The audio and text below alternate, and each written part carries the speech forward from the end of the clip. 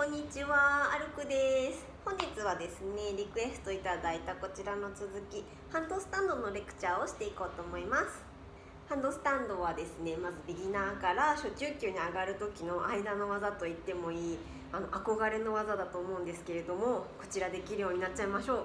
そしたらですね、ハンドスタンド2種類ありまして逆上がりした状態からキープするバージョンと下から蹴って上がるバージョンがあるんですけれどもまず下から蹴るバージョンをやっていきたいと思います、はい、手の距離。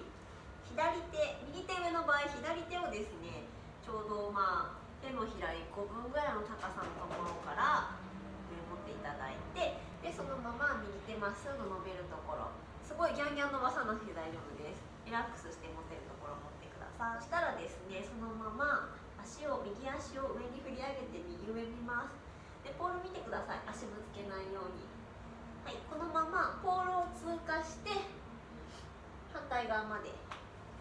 ちょうどね反対向きでやるとこういう状態になります。はいここで支えます、はい、で一気にこのポーズまで持っていくのは最初大変なのでまずは足をポールにかけて足の力で上に上がっていきます。右足を振り上げたらポール見てください。ポールに引っ掛けます。よいしょはいこれで足で押してまっすぐ。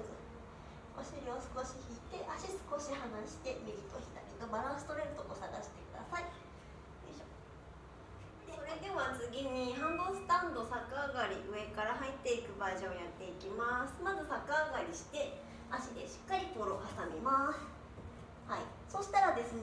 ね左手下にスライドしていっていただいて腰を少し後ろに引きます。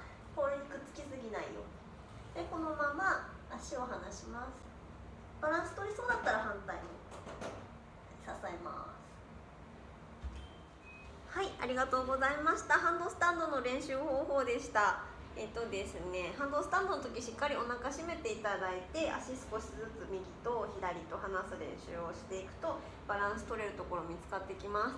でバランス取れるようになった時はもうここだっていうポイントが分かるので、えっと、あんまりこう焦って両足ばって離さないで少しずつバランス取れるところを探していって止まれるなと思った時に両足しっかり離して横に張ってください。